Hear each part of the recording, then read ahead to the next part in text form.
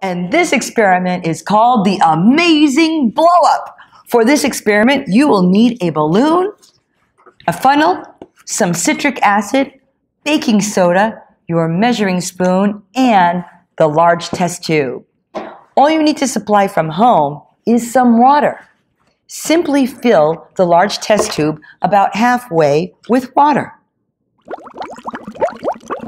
To the test tube, you're going to add three level large spoonfuls of citric acid.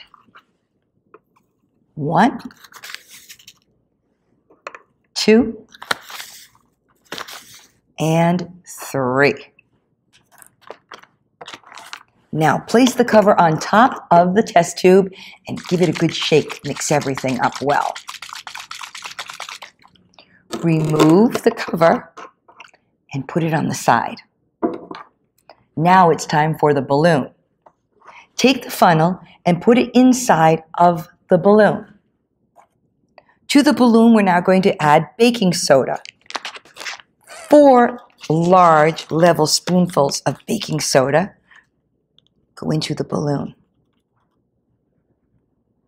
And you might have to shake a little bit just to get everything down into the balloon. That's one, two, three,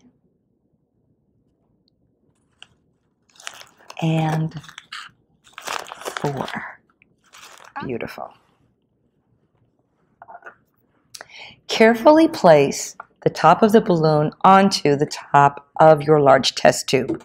You want to make sure that the baking soda remains in the balloon at this time.